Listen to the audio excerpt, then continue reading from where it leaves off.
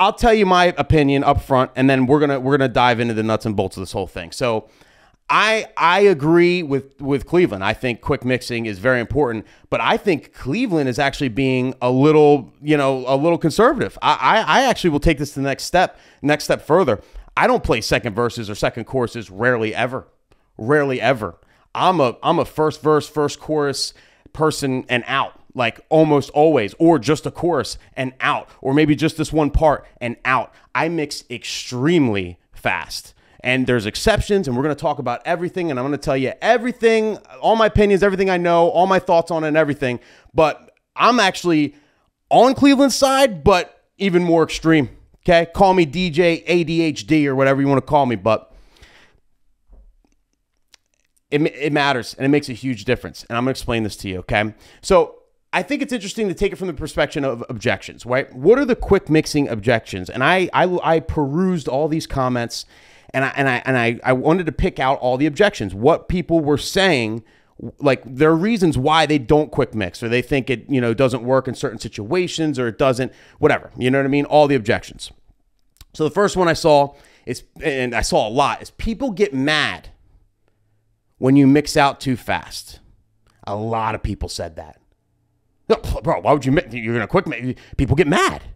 You quick. You you mix out quick they're gonna get pissed off. People get pissed off. They'll, they'll turn around, look at you. What are you doing? You know, like it doesn't work. You gotta. You, you don't want to piss off the crowd. You know, you're not. You're not. Th- those aren't DJs out there. Those are regular people.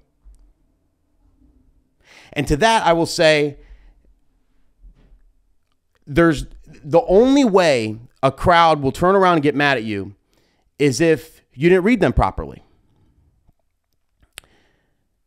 The major keys to quick mixing, which I will get into later, is, you know, one of them is knowing what parts of the song to play, what parts of the song bang, and what what parts don't.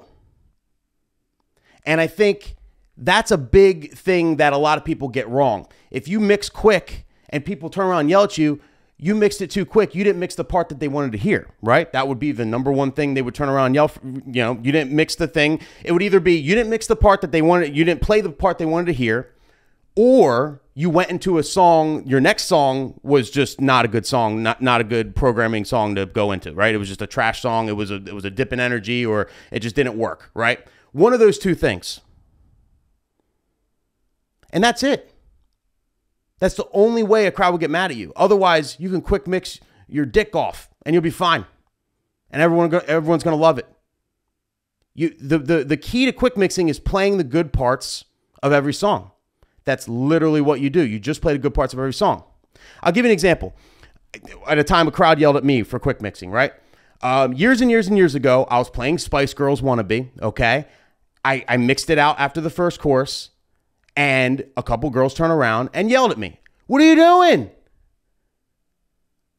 And I came to realize that they wanted to hear the rap at the end that all the girls love that rap at the end. There's a I don't even I don't remember the lyrics. I can't rap it for you, but it's like it's the third. I believe it's the third verse of Spice Girls "Wannabe." It's like a rap. So here's a story about you, or something like that. It's like some shit like that, right? So from then on, I would do the first. I would do the first verse, the first chorus, then I'd skip to that rap, do one more chorus, and then mix out. So that would be a song I played two verses, two choruses. No one's ever yelled at me again because I played the two main parts. No one's ever yelled at me for not playing that second verse because no one gives a shit about it. You got to know what they give a shit about, you know? Ice Ice Baby is a great example. Everybody knows the stop, collaborate, and listen part. But nobody knows that second verse. I mean, unless you were there, maybe. But you know, now that the party is jumping, it's like a, it's like a, you know, like have you ever played Ice Ice Baby? Went into the fir- uh, second verse. Don't you can't tell me that the second verse came on and the crowd got hype and they're woo when the second verse came out. It's never happened to you in your entire life. You know why? Because no one cares about the second verse. No one cares about it. Get out. Get to the next part. Get to the next song. Keep it pushing. You know. So people get mad at you when you do it it, it, it, it's, it means you, you didn't, you know, same thing if you play a full song, right? If you, if, if, if the reason why you would play the entire song of Shout or Paradise by Dashboard Light is because you know that everybody wants to play, wants to sing along to every part of that song. Every part of that song is like they act out the whole Paradise by Dashboard Light and sing back and forth and all that shit. You know what I mean? So you you play that whole song because you know that's what they want. Same thing with quick mixing. You know, you play just the first verse or just the first verse and that last rap at the end with Spice Girls because you know what they that's what they want. Rule applies for everything. But the funny thing is, is generally speaking, most songs people only give a shit about the chorus and maybe a verse, and that's it. That's 98% of all songs. It's a fact. And we'll get more examples in a second. Next objection it only works with younger people and newer music. That's wrong.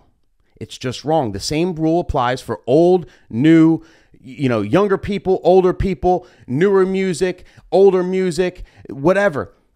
Every song there is, there's popular parts of that song. There's very few songs where the whole song is the popular part. Most are just popular parts, whether it's an old song or a new song. You just got to know which parts people want to hear. Mix those parts in, play those parts, and then keep it moving. An old person will keep, as long as they hear the parts they want to hear, they're going to keep their two step going. They're going to keep dancing. They're going to keep having a great time. It's a fact. They don't care if you mix early, they don't care if you quick mix. If anything, you're giving the people more. If you're quick mixing, you're playing more songs, you're giving them a better experience. Like, what's more fun, singing one song at the top of your lungs or singing 10? You go see your favorite band in a concert, right? Go see your favorite band in a concert. They come out, they play three whole songs. Are you going to be a little disappointed? Oh, they, they, I wish they played more. You're going to want them to play as many as possible. You want three encores, right? It's your favorite band. You're there, you're there to have a good time. You want to hear as many songs as possible. It's the same thing. This is a big one here. A lot of people said this in different ways, right? They kind of alluded to like, you know, quick mixing only, you should only quick mix if the crowd in front of you isn't into it. You know, like once the crowd starts, you know, like you know, if it's working, keep it going. But then, like you know, if you see that the crowd's, you know, not really liking the song, then quick mix. That's what quick mix is for, right? Even um, uh, Brian S. Redd, his quote in his video was, "If it works, leave it alone." That's his quote. If it works, leave it alone. And this is crazy to me because, especially, he's an OG. This guy has been DJing since like I, don't even know, like World War II or something, like long time, long time. This guy's been DJing. Okay, and this is the most elementary thing you can think in, in, in the. This is so elementary to me. Be, it, it, like DJs, if you learn anything from this episode, all right, or any, if this is the only video you ever watch of my channel or something, this is so so important. You have to listen to me on this, okay? You never want to have that mindset. If it works, leave it alone. The song's working. All right, let it go for another verse. That is that's like, okay, uh, my car works great. Do I need to get an oil change? No, I'm not going to get an oil change till it breaks down. Wait till it breaks down. right. It works fine. My car starts right up. I think I need an oil change in like 400 miles or something like that. It's getting close. It still starts right up. Let me let me risk it for the biscuit. Let me just keep driving it till it breaks down. You know what? My teeth are white. My teeth are all right. I feel like. So I don't need to brush them until they get. I mean, once my teeth get to like this, then I'll brush them. Right? Then you brush them. Just wait. Wait until they start to rot. Then you brush your teeth. See where I'm getting at with this? Just because the song is working and everyone's singing along and having a good time doesn't mean you shouldn't change it. It means give them more. Bring it up the next level with the next song. You got them now. They're having a good time. You know how you take it to another level and another level? Hit them with another one and another one and another one. Don't wait for the crowd to die before you quick mix. Don't say, oh, I dropped this song and it's working great because you're still in the first verse. And then you play it to the third. And then when you're at the third verse, you're in the middle of the third verse, people are walking off your dance floor and you're like, oh shit, all right, well, I guess I got to change it up now. Now, now, now you just shot yourself in the foot. Now your crowd is dissipating and you have to like go on defense and like, and, and, and quick mix another song in and hopefully that works. And you know what I mean? Why? Why wait for that? Your crowd's bumping. Give them another one. Give them another one. Get those new oohs. It's the most delicious thing in the world. It's my favorite thing with DJing. When you play a song and everybody's like, whoa, when you get the ooh, I want as many oohs as possible, as many new oohs as possible during every single dance set I do, no matter where I'm at. And if I have a great song that's working because I'm playing the good part of the song, I'm already thinking of the next song that's going to work because this song's working and I can't wait to play that next song. That's what you want to do. Just think ahead and and and give them more. Don't wait for it to die. You know, it doesn't make it, makes no sense. It's a it's a it's a terrible idea. Trust me on this, DJs. Now, another misconception I've heard is I don't want to play all my bangers early. And this is an easy one to solve. And I think this is like the least bit of most DJs' problem because what I've heard a lot of, especially when I see DJs like older DJs that'll comment and say, "Hey, listen, you know, I'm not in. I don't like. I don't think. I think beat mixing is overrated. I don't do that. I think programming and musical knowledge is key, right? You know, anybody who doesn't mix or whatever, you know, they all say, "Hey, listen, I know my shit though when it comes to music and programming," and I'm sure you do. So this shouldn't be a problem. You, you spending your bangers early shouldn't be a problem. You should have all the music in the world. The easiest way to prevent this from happening is to have crates that are stacked. You have to have crates that are stacked with hundreds and hundreds of songs. There has been tens of millions of hit songs that, that's come out. It's unreal how many songs that are out there. Unreal. Not just the top 40 hits. There's underground hits. There's there's songs that hit the top 40 but still work the dance. You know, there's songs that never hit the top 40 that still work the dance. There's, there's so much music out there. You just have to dig, dig, dig and be stacked. I uh, like I personally play on average between 150 and 200 songs. I like to, like on, at a wedding set if I'm doing like a you know two and a half hour, three hour ish set like all together. So I, so I try and keep double that. You know what I mean? Like whatever you typically play, you know, or if you want to start quick mixing, you know, kind of just do the math. You want hundreds and hundreds of songs, all bangers in your crates. You could just go to bam, bam. You never run out of anything to play. Never get that Serato face that everybody talks about. That's the key. That's really the key to this. Even like Mike Walter always said, you never hold back. Never hold back. Always give them everything. You know what I mean? Like, like never hold back. And I agree with that. Don't save nothing for the end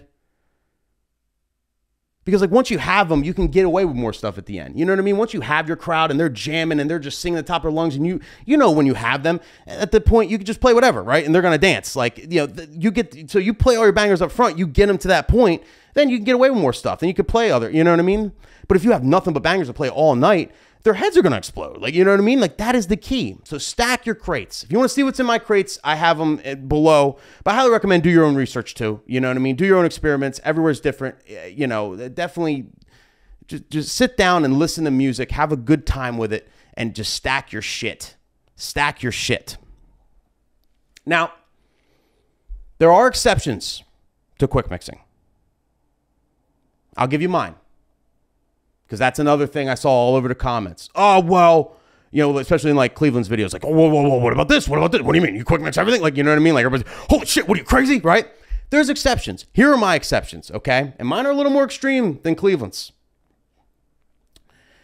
Four exceptions slow songs, must plays on the couple list, not like play if possibles, must plays. Like they're, they're the, the songs I got to play no matter what, the songs that are important to them, right? Opening song of a dance set, and anthems. And I put sometimes, right?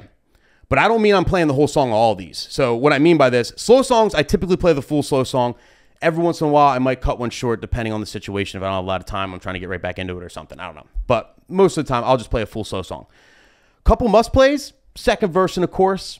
I'll, I'll let it go an extra one, right? If I play like the song that was on their must play list and I see them out there and they're singing and dancing, I'll leave it on longer, right?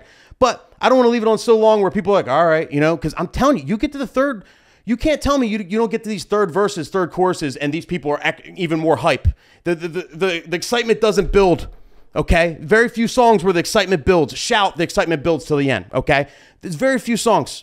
Typical songs, they're not going to be more excited at the third course, the third verse. They're going to be less excited.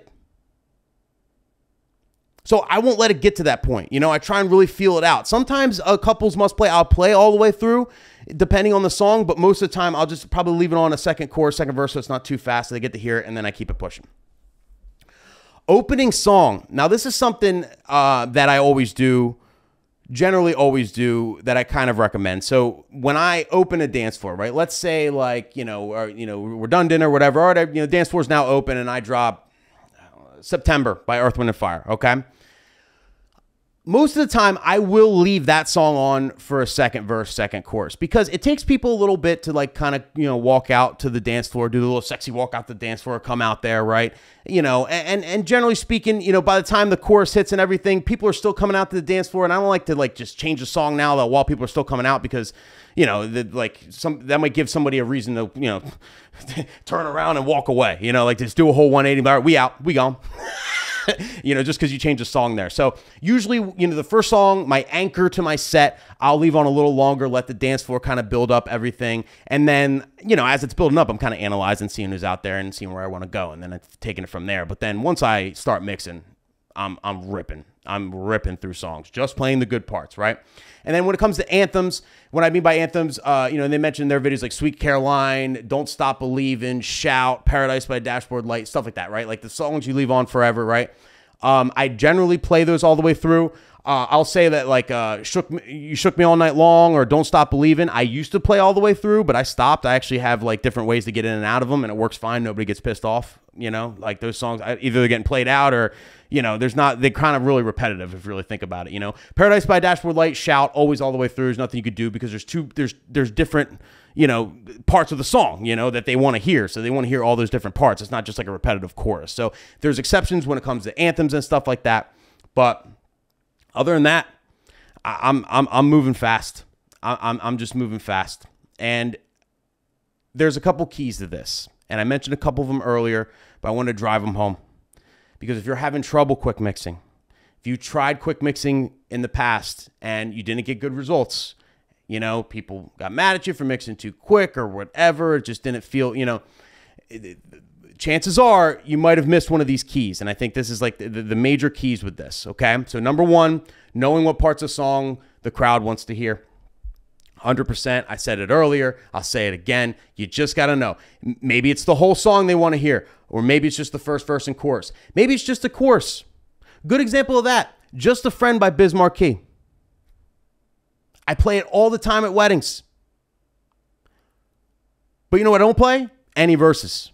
Have you ever met a girl? Uh, I like the verse, but it's just not it's not good for a dance floor in my opinion. Like, you know what I mean? I just play the chorus. You, you got what I right. Everyone sings along. We and that's it. I'm out. One course. I'm out the best part and keep it moving. The next thing is technique, okay? In order to quick mix, you're moving very fast, right? Sometimes just playing one course. So you got to be able to move fast. You got to be really, really good at mixing. You got to be able to mix like, you know, with your eyes closed. So obviously, you know, practice mixing, practice different techniques. I do agree with what Brian S. Redd said, where he said, like, you know, if you if you mix out if you beat mix, do an eight bar beat mix. I think what he meant was like if you do like an eight bar beat mix, for example, at the second chorus every single time, then the people are going to be predicting your mixes and it's going to get repetitive. And I agree with that. You want to ch- change it up. You know, drop things on the one. Uh, you know, d- do beat mixes sometimes. Sometimes do the thing where you kind of like just echo out and then drop something out of nowhere. Uh, tone plays, word plays, you know, things like that. You know, you, you definitely change up your mixing style so it's like always kind of something different when you can. And your mix mixes got to make sense. And, you know, you got to like figuring out what you want to play next like has a lot to do with like how the crowd is vibing and what you're playing at the time. And a lot of times if you're in a certain genre, you know, a lot a lot of DJs say, "Oh, you know, I'm open format." And then they literally just recklessly go from hip hop to metal to like you know just the most rec- country to the like like like like no rhyme or reason just mixing this genre into this genre and this genre. And that's not like that's not a good idea. You, you want to make everything kind of make sense and make flow like and flow and you want to have like different ways to kind of cross over from one genre to the next. I'll give you an example. When I'm in, if I get down to the 70s, you know, maybe I'll do like the Blink 180, you know, all the small things, right? You know, sugar, we're going down, right? That sort of thing, right? I'm, I'm in that kind of set. I think it's kind of a bad idea. Like, it, it can work, but when you're in a set like that and people are jamming and singing every word, if you just out of nowhere go into a hip hop song after that, they're kind of going to be like, oh, because they were in rock mode, you know? They were kind of like in they were rocking out. And then all of a sudden you just drop this crazy hip hop song. And th- you can bring the energy down doing that, right? That's like a open format fail. The way to do it, or the way that works for me, anyway, you do what you like, but the way that works for me is like I try and use different crossover tracks. So if I'm in that modern rock kind of, you know, or, you know, 2000s rock kind of era in the 70s or whatever, 80 BPMs, and I want to get to, you know, any type of hip hop, something I'll do a lot is I have a We Will Rock You acapella out. It's still a rock song, okay? And that's another song that I literally just play. No, no, no, there is a verse in there. Yeah, so it's a verse and chorus, verse and chorus and out. But it, it basically goes. Um, it starts with the the chorus, "We will rock you." Then it goes to the first verse, and then it's acapella out, "We will rock you." I'll play that. It's like 80 something BPMs on the acapella out. Now it's an acapella out. We will, we, I'll mix in like teach me how to Dougie or something or bye, bye, bye or whatever, wherever I want to go. You know, that's kind of in that realm. And now it works because you're kind of using a sing along kind of crossover record, but then you're taking that acapella out and you're putting a hip hop beat underneath of it, and it just it's it sounds good. It's like you know like a we will, and you hear that teach me how to Dougie beat, and people start hitting the Dougie. It's like oh okay, and now you're crossing over into that next genre. You know, that's kind of how you truly be open format. You got to think things out that way. And if you if you if you really think your mixes out and try and like make them make sense that way and flow right, not just play random things and be really proficient at mixing. So the beats are on, the key is right, all that stuff. People aren't going to yell at you. They're going to actually give you a new ooh. They go, "Oh!" They're going to be excited. They're not going to know what's coming next. They're not going to be able to predict you. They won't be able to predict you. Being unpredictable is so huge because that's what gives you the you know excitement. It's like, oh shit, I didn't see that coming. If you see it coming, you're not gonna get excited about it, right? If I go in the next room and I go through the closet and I see what my girl got me for Christmas, now I predicted what she got me. Now I know what she got me. I'm not gonna be very excited about it, right? I'm excited, like I can't wait to get it, but the day of, it's not gonna be like, oh my god, like I'm not gonna go, whoa, I'm not gonna get a ooh when I open up that present because I kind of already seen it coming. You know, same thing with mixing. And then the last thing, of course, is having and knowing the music. You know, you got to know a lot of music, and I think that's something that most of us all have. Even the DJs that don't mix, or you're still on the fence about this, you don't agree with everything I'm saying.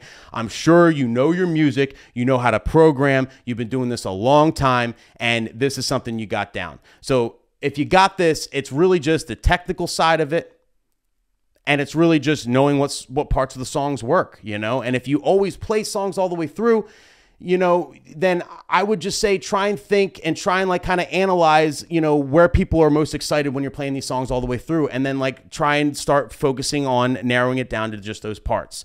You can't just if you want to start quick mixing and you don't quick mix at all right now, you can't just jump right into it. You can't just go zero, zero to 100 and just start quick mixing. It's not going to work. It, it, it, takes practice. It takes time. It takes a lot of time to actually build up the confidence to like quickly go through these songs and, and, and, and play more music. Because if, if you long mix now, you play this many songs. If you quick mix, you're going to have to play probably double, maybe closer to triple. So there's going to be a lot of songs you don't normally play that you might not be confident in playing. And I get that. You know, if you, know, you never play this one song. It's like, all right, I hope it works, you know, and you gotta. So it's it's a process. You have to slowly just do it. Just just think about what you do now and see if you can make it quicker. And think about to yourself. You don't gotta tell anybody, but think about. It. Just sit down and be like, you know what? Every time I play this song and go into this song, I kind of lose energy at this point and maybe I should just mix that out early. You know, just look at it subjectively that, like that. You know, like just put the ego to the side and just think, like, you know, can I do this better? And slowly do it a little quicker. Slowly, you know, figure out which parts works where and whatnot. And and and you'll be surprised. You'll be surprised. You'll start. You'll start getting it. You'll start getting the hang of it. It's fun. It's more fun to quick mix because you're always doing something. You're not just sitting there making hand hearts while you're waiting for the third verse. You know what I mean? Like it's more to do and it's highly, highly, highly, highly, highly effective. Highly effective. Trust me. Just trust me. I don't care what area you're in. It's all about it, it, if every area is different, but if you're in the Midwest or something, you just got to know what parts of the song people like. I'm sure there's plenty of songs you play in the Midwest that they only like one part of. Just play that one part. And and and I'll say this before I, you know, put put a put a bow on this conversation. Um, more and more, I get couples that ask me if I play full songs. It is a very common question that couples ask the last couple years. Literally, I'll be I'm meeting with them. Oh, we just want to ask you a question. So when you DJ, do, do you play like the whole song or they literally ask that? Because they go to some weddings and they watch the song go all the way through. And these non DJ, non musician, just regular folk people identify that, you know, it would be a lot better if they didn't play this song all the way through. I've heard this from dozens of couples, dozens, not one or two, dozens, non DJ, regular folk. If regular people are identifying it, it's a thing.